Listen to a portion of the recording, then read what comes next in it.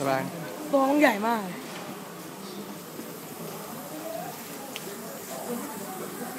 ตัวมันใหญ่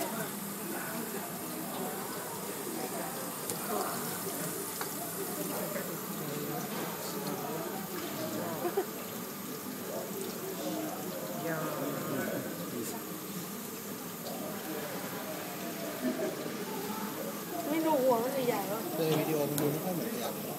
อืมก็เห็นมันนะเรียบร้อยแล้วอร่อยไหมครับไป